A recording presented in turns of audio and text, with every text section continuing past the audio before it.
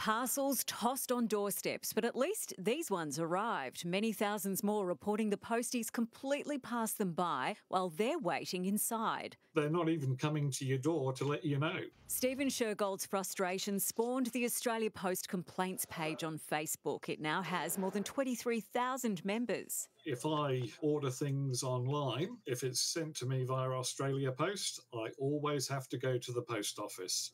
Two packages awaiting collection, yet there was five people home all day. I waved to him as he took a photo of the letterbox and he still drove off. You don't get deliveries even when you don't own a dog. The postie puts the not able to be delivered reason due to this non existent dog. This TikTok parody has had 3 million views.